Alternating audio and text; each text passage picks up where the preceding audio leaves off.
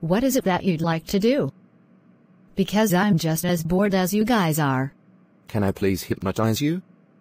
I promise I won't tell anyone that I did it to you in school. Oh, I don't know about that, Matthew. People here could be very sneaky around here with the cameras watching us. It won't take too long for me to do it. Fine then, you could try to do it on me. But it's not like it's going to work on me the first time. Alright, but just to let you know. Once you're under my control, you won't be able to look away from me. And just to let you know, right now I'm not in a very good mood. So I'm not sure if it's even going to work on me anyway. You're getting very sleepy.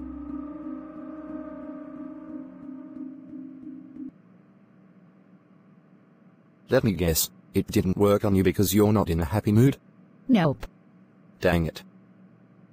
So, what just happened? It didn't work because she wasn't in a good mood when I tried to hypnotize her. Now I'm gonna have to wait till she's asleep to do it on her.